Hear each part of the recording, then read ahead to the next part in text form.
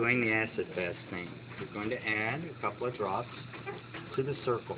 You're going to pass it through the flame, through the flame, several times, holding it out, keeping it balanced so the circle is still full of stain.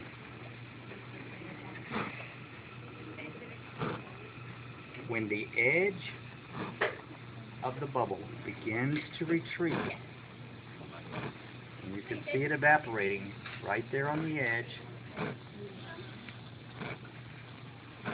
then you shake it off, you grab acid alcohol,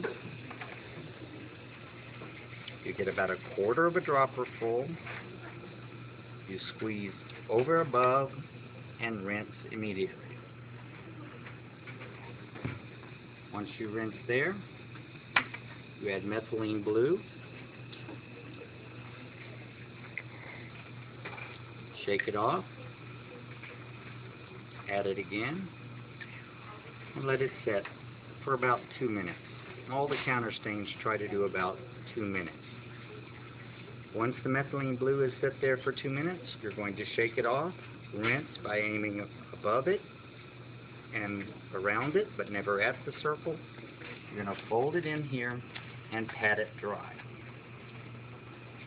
Once you pat it dry, you add oil, focus under 10 and 100. That's it.